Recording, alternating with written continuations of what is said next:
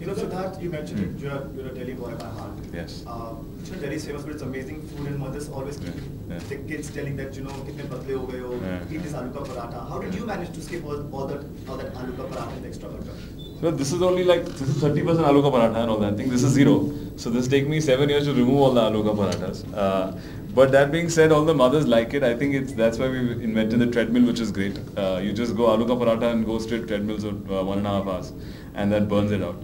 So it, it's tough, I think. But uh, that being said, you should you should have all those things. I think I don't feel fitness is something that restricting. I will not eat this at all. I think it just makes you. Uh, uh, not so happy at times. It makes you really, really groggy and really cranky.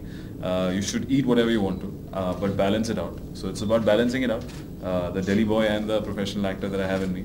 Uh, so I do that once in a while. You know, it, it's you have your days and you take your days off, or you take your periods that you want to make a physique.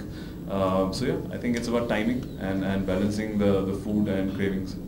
So that it's nice to see two very different covers of the same actor Yeah. launch the same day. I just want you to know which one do you really relate to or which one do you hold closer to heart and which one's more you?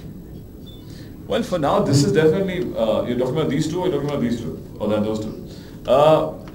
I would like to believe, I, I like the selfie thing. I think the selfie image is, is far more uh, fun and quirky it's more how, how I would actually send funny pictures to, you know, my friends.